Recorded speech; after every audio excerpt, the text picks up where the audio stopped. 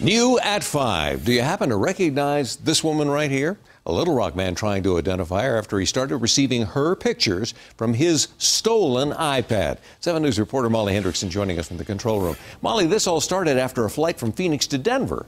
Yeah, Alan Engstrom lives in Arkansas, but he tells us he left his iPad on a flight from Phoenix to Denver. So you could imagine his surprise when he began getting photos from that stolen iPad to his iPhone. He began posting those photos to his Facebook. They've since gone viral. Now he says he's getting comments from as far away as Croatia. It's said a picture is worth a thousand words. But for Alan Engstrom, these selfies are worth at least 600 bucks. All I have is her image and the power of social media to help me get my iPad back. You see, he left his iPad on a flight to Denver. He thought it was gone forever until, thanks to his family cloud account, his son got a little surprise. All of a sudden, he holds up his iPod and he says, Mommy, what's this? And it was a picture of her on his iPod. We finally uh, kind of figured out that, oh, that must be the new uh, owner of my iPad.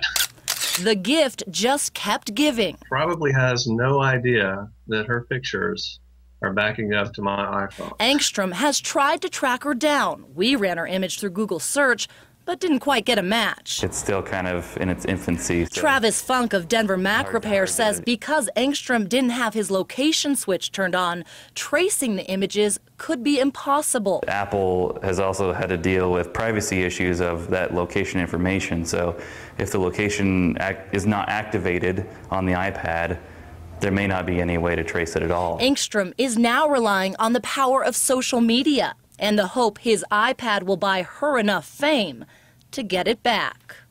And just because this woman has his iPad now doesn't necessarily mean she's the one who took it.